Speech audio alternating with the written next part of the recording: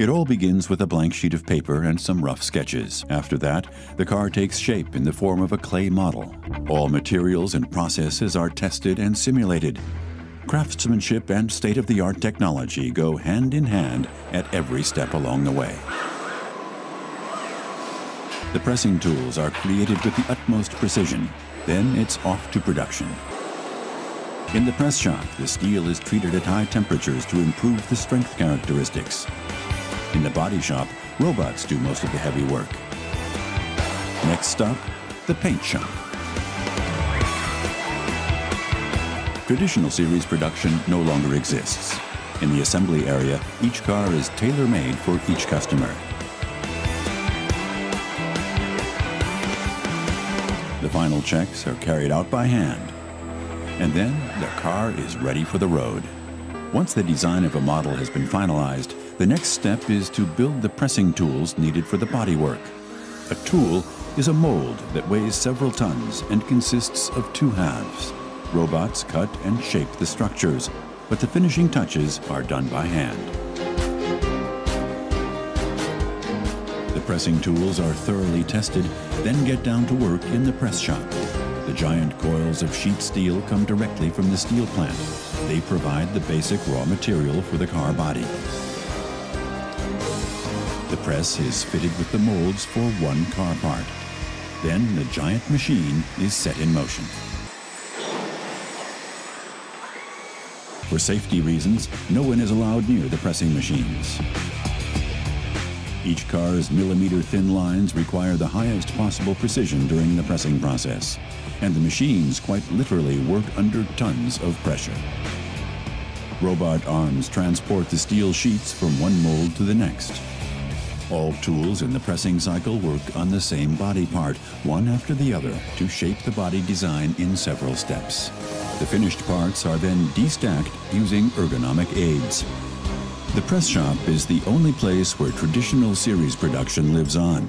From this point forward, each car is individually tailored to meet the wishes of the customer. The individual parts now move from the press shop to the body shop. Most of the heavy welding is done by robots due to ergonomic reasons. After that, the next stop is the paint shop.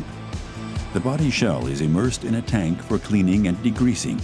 At this point, everything is still gray on gray, but this is where color comes into the picture.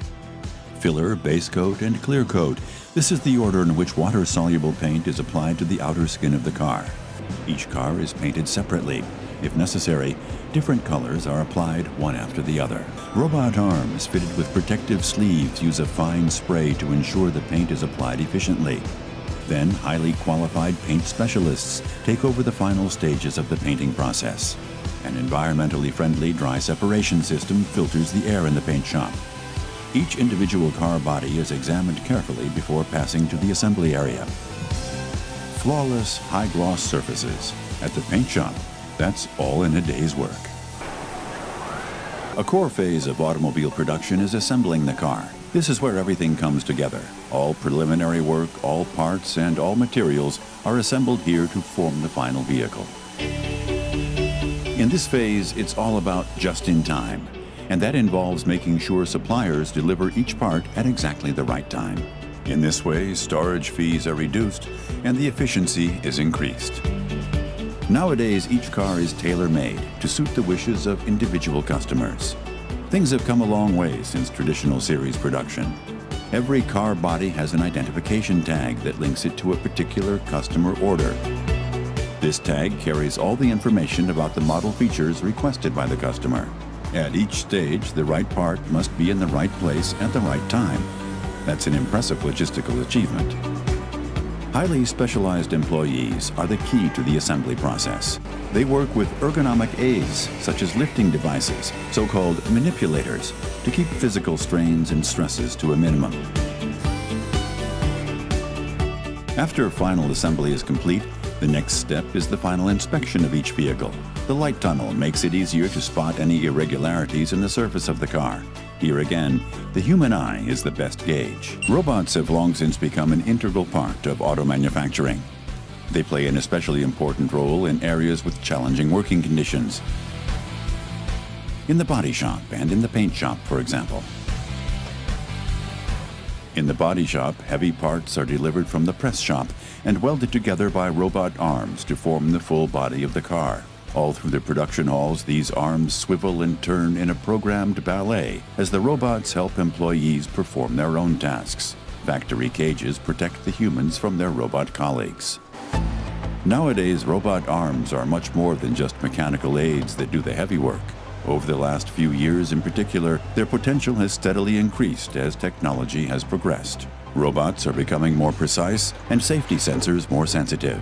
Humans and machines are already working hand in hand in the first pilot projects. A glimpse of the future within our grasp.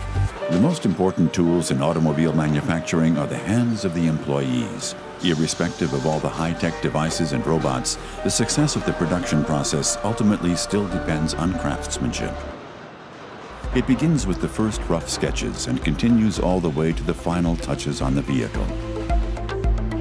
In fact, no matter which type of car is being made, craftsmanship is part of every stage, from the selection of materials to the stitched cockpit features.